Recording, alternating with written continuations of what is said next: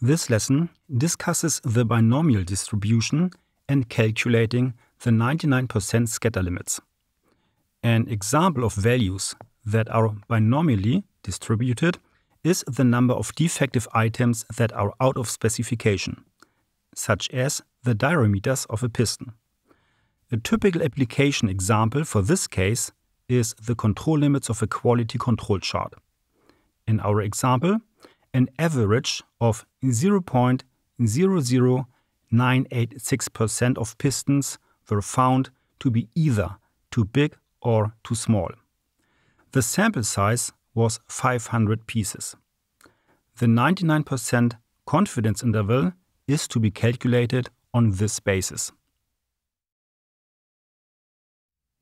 For this purpose, I have already prepared this partially empty table. Let's start calculating the 99% limits, which will also be displayed in a chart.